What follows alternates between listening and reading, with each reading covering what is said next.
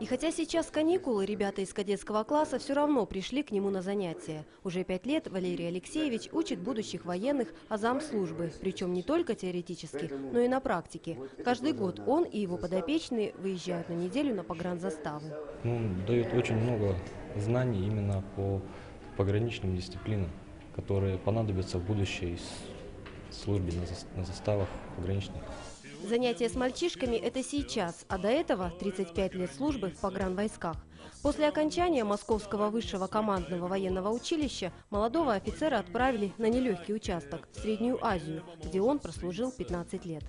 Жизнь на заставе не сахар, знают все пограничники. А если при этом еще и жара, плюс 49, кругом пески, а питьевую воду привозят за 120 километров, то тяжелее втройне. Но о годах в Туркменистане и Узбекистане полковник не жалеет и часто вспоминает события тех лет. Это задержание первого нарушителя границы, когда молодой лейтенант на втором году службы, вот обстановка, значит, и я знаю, что с недостатками, но задержание было совершено, все в порядке, это тоже. Это назначение на должность, на вышестоящую должность. Рождение детей. Саша родилась э, в Запорожье, жена выезжала, а младшая в Таксобазаре, прямо в пограничном отряде. Вот. Это не помешало мне выехать в командировку на следующий день. Человек скромный, о себе он говорить не любит, а уж о наградах тем более.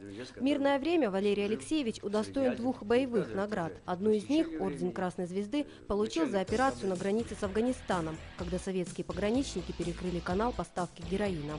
До прихода военных там переправляли до 300 килограммов наркотиков. Тогда прямо в пустыне выросла погранзастава.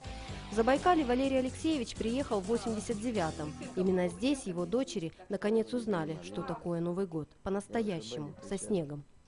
Я знал, что я востребован, что я нужен государству.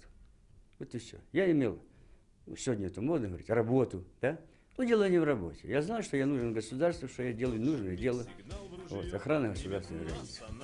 С 97-го полковник Колесник на пенсии. Сейчас возглавляет Совет ветеранов-пограничников. Работает с молодежью. Без дела сидеть не любит, чего стоит только его дом, как с картинки, построенный самим.